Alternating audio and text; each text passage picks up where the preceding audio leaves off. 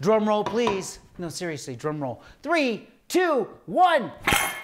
And the crowd goes wild. Nothing will make you more popular at your next dinner party than you being able to whip the tablecloth off, amaze your friends without throwing most things on the floor. The secret? Inertia. Isaac Newton would be so proud that you're learning the tendency of an object to stay at rest until a force acts upon it. We're going to sneak the tablecloth out from underneath, which means there's two other kind of important secrets. Number one, the right tablecloth. Look at this. Here's a tablecloth that doesn't look pretty because it doesn't have a hem.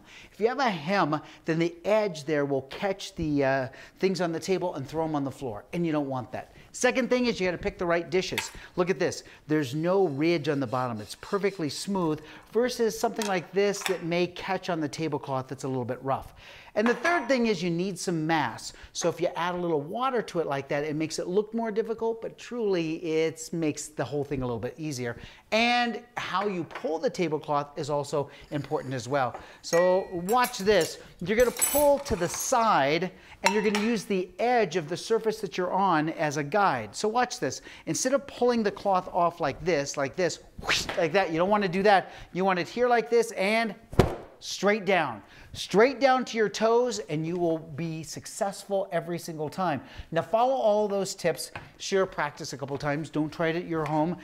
Try it at a friend's home. And anything worth doing, of course, is worth overdoing. So that's why brightly colored liquids on the plate are gonna be perfect, all right?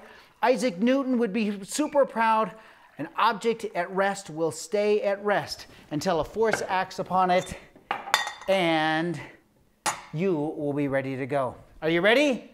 Looks good. I'm Steve Spangler, and this is your amazing Science Minute. Three, two, one. Ta da! See, you're to be invited back.